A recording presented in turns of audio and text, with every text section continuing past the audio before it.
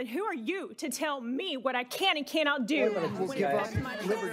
School board meetings used to be boring. Stop throwing it down my throat and everybody else.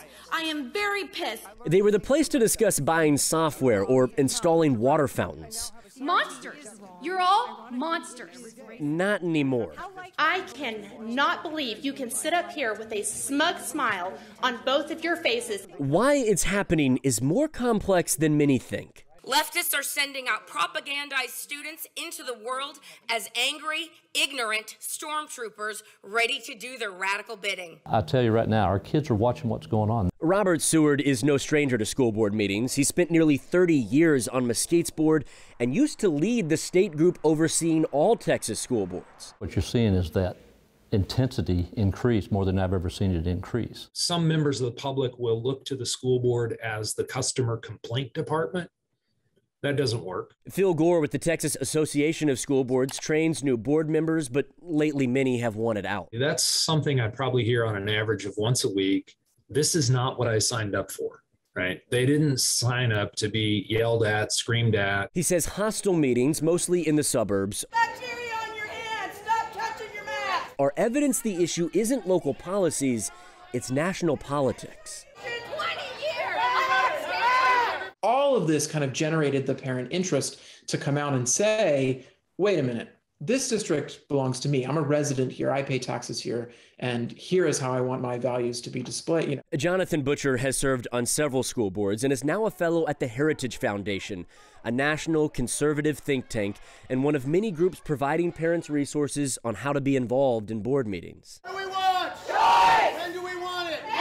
It is a moment where people are upset about what's happening in schools, but it's also a great opportunity. It's a great opportunity for us to hear what parents have to say. But in the last few months, we found it's not always parents inside the district that have something to say. CRT is a poison. It's a poison to the mind. Blanca Martinez and Ajua Mason spoke at a Fort Worth ISD board meeting in June.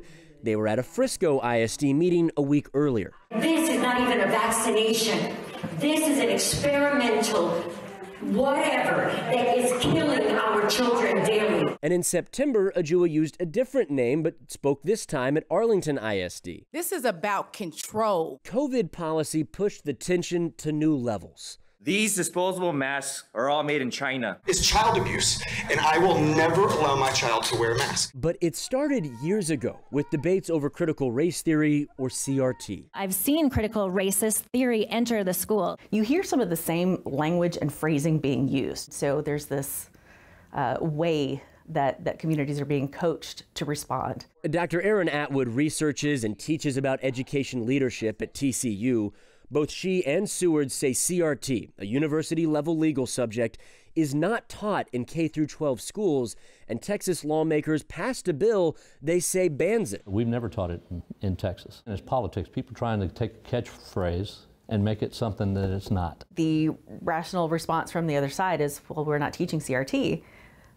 That's a very simple message that doesn't, you know, catch fire.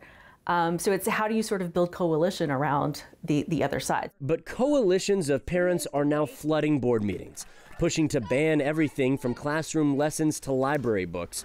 Politicians are now joining and encouraging the fight. It's not just math and reading, right? And we're talking about how history should be taught. We're talking about what should be contained in social studies. In Southlake, a PAC has raised hundreds of thousands of dollars, and its candidates have overwhelmingly won the last three Carroll ISD seats.